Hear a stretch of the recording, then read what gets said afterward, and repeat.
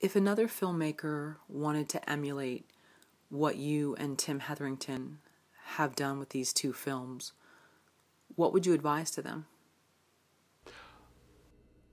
I think in order to repeat what Tim and I did, you have to, you, a filmmaker would have to understand first and foremost that documentary film is journalism. It's not a vehicle for your opinions. It's not a public service announcement. It's not a commentary on the war or on anything else. It's a documentary. It's documenting reality.